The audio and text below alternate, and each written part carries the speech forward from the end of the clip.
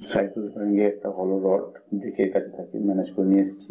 আর aluminium একটা পাইপকে এইভাবে ছিদ্র করার পরে দেখুন, এটা দিয়ে এই রডটা ঢুকে যাচ্ছে।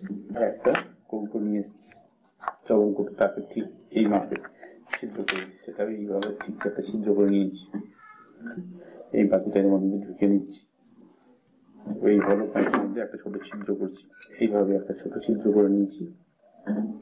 ছিদ্র করার পরে এর মধ্যে ঢুকিয়ে দিলাম? এর ভিতরে ছিদ্রটা ঠিক সেট হয়েছে, এই মাঝামাঝি জায়গায় এর ছিদ্রটা আছে। আমি কি করলাম? এইটাকে এখানে লাগিয়ে দিচ্ছি। লাগানোর পরে এমসি ইউজ করে এখানটা পুরো এয়ার টাইট করে দিলাম। এটাও আমি এয়ার টাইট করে দিলাম।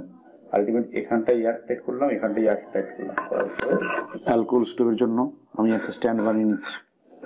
এই জন্য একটা আমি অ্যালুমিনিয়াম তার থেকে কয়েকটা তার কেটে নিচ্ছি। ঠিক মাঝামাঝি এইভাবে ভাগ ভাগ করে নিচ্ছি। এই হয়েছে। এখন আমার অ্যালকোহল স্টোভের থেকে কিছুটা হাইট বেশি নিয়ে দুটো তারকে আমি এইভাবে মুড়ে নিয়েছি। এইভাবে চারটা তারকে সাজিয়ে দেখে নিচ্ছি, ঠিকঠাক আছে নাকি? এইভাবে আর দুটো তারকে আমি এইভাবে সেট করে নেব। এইভাবে কয়েকটা সুন্দর করে বাঁধন দিয়ে দিচ্ছি। এক্সট্রা তার দিয়ে। এইভাবে টোটালটা মুড়ে নিচ্ছি। একটু সবশেষে এইভাবে মুড় নিতে হবে। তো আমি এখনই অ্যালকোহল দিয়ে ট্রাই করব। এই চিপিতে একটু অ্যালকোহল দিয়ে দিচ্ছি। স্টোভ চলতে আরম্ভ করেছে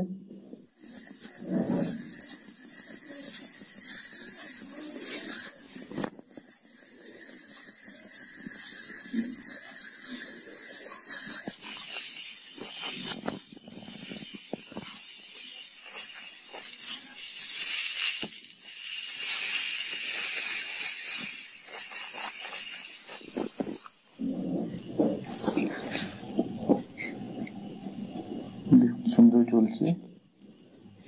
এবং জলটা গরম হয়ে উঠেছে